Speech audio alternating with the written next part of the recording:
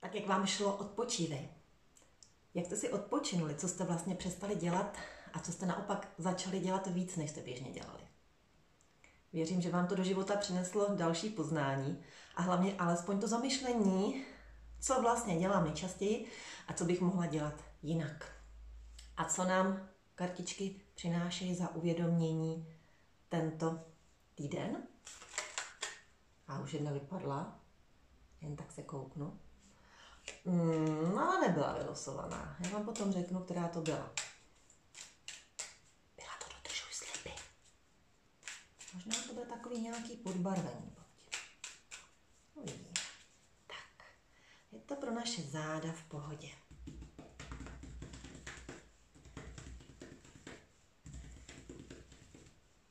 Jak vidíte, losuju levou, aby to bylo od srdce.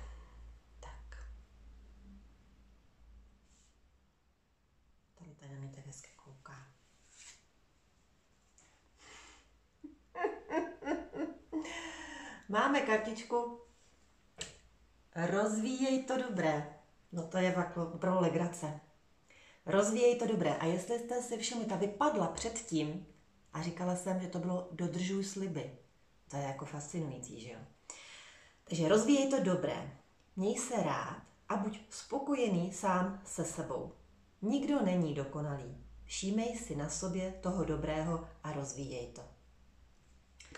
Prostě ty naše záda volají stále a jenom pořád o tom, dívej se na sebe, dívej se na to hezký, opouštěj, propouštěj ty věci, které úplně tak nejsou podporující, ale jsou zatěžující, kritika, disci, příliš velká disciplína, protože tam musí být zase řád, rovnováha nějaká. Takže se taky podívejte, a to je možná i to rozvíjej to dobré, podívejte se na to, jak vlastně žijete, jestli tam není příliš disciplíny, tak aby tam právě byla to vyvažování. Takže beru k tomu, že to je vlastně i to rozvíjej to dobré, ta rovnováha. Balans, aby tam bylo tak všeho tak akorát, aby tam bylo tak akorát ty tvůrčí činnosti, to znamená pro ty ostatní, jestli to není náhodou pořád jenom dělám pro sebe, a nebo v obráceně, protože zpravidla to bývá opačně, že spíš víc dělám pro ty ostatní a málo pro sebe, takže proto to stále směřuju k tomu, dívejme se sami na sebe, rozvíjejme to dobré, chvalme se. A já mám výzvu pro tento čas. Ráno, ještě v posteli, když ležíte. A máte zavřený oči, asi těsně po probuzení, v takový tý zlatý chvilce, kdy ještě jsme v té alfě, tak první, i když to třeba nebude hned tak jako na první dobrou, ale začněme to trénovat a vnášet do toho svého života, pojďme to vyzkoušet, že se tak naladíme na sebe, já třeba to taky takhle dělám a pak si svolám si všechny svoje podosobnosti, protože tam mám vnitřního kritika, eh, naléhající, mám tam ufňukanou holčičku, mám tam prostě spoustu dalších takovýchhle bytostí, které tam se mnou mluví a kolikrát jedna mluví přes druhou, muži možná netuší, co tam je, ale my ženy víme.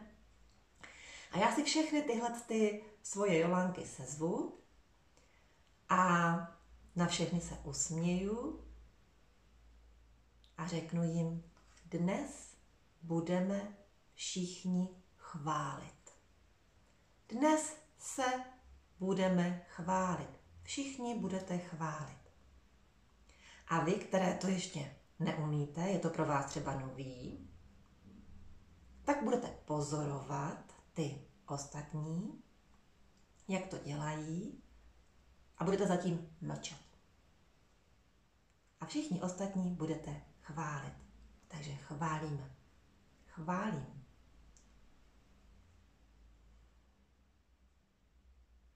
a necháte tohle opravdu rozeznít. A je fajn, abyste to fakt jako úplně viděli, ty děvčátka, jak tam takhle jsou. Jedna taková ta, jedna taková ta, úplně puberťačka a prostě všechny dostali úkol. Všem jste zadali úkol. Pojďme do toho. Takže rozvíjejme to dobré. A za mě je ta pochvala, to chválení, je rozvíjení toho dobrého. Protože všechny ty vaše podosobnosti budou motivované k tomu najít ve vás něco dobrého a když v současné chvíli zatím nevidí, tak mlčí a inspirují se od těch ostatních. Takže rozvíjej to dobré, dnešní, než týdenní kartička a mějme se skvěle ve svém těle s láskou a s úsměvem. Pa, pa.